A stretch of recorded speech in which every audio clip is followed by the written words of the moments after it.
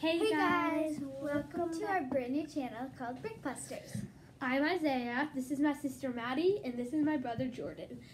So today we're going to be building the um, the Lego Ninjago bursts. I have the Kai one, and its number is seven zero six eight six. My number is 70687. My, um, I have the Cole one, and his number is uh, um seven zero six eight five. So uh, These are recommended for se- ages 7 and up. there's seventy eight pieces, and so let's get building. Okay, they're really cool on the front. Now let's see what's inside. Mine comes with two bags and instructions. Mine too, like a little one and a big one. Mine comes with um two bags and instructions. Now, let's get building.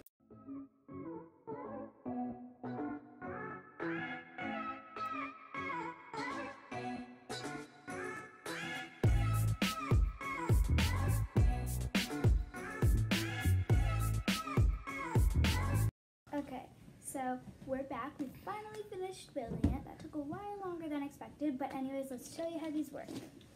So what you do is you slam it really hard like that. They burst open and close back up here. That was a really bad one. See, like that. They don't burst open that well, but look at that one. That was a glory. So they're not that easy to burst open, but um, other than that, it's a really great set. Hey, first mine. Killed mine. There's a lot of cool detail on it, like these green little spikes right here, So and yeah, also you can change their hats, so you can do the mask off, and there's this comes with this little hat. The Kai one is red, Mhm. and then the, The Lloyd one is silver, hmm and the Cole one is black. Yeah, see. that. That is all for today, guys.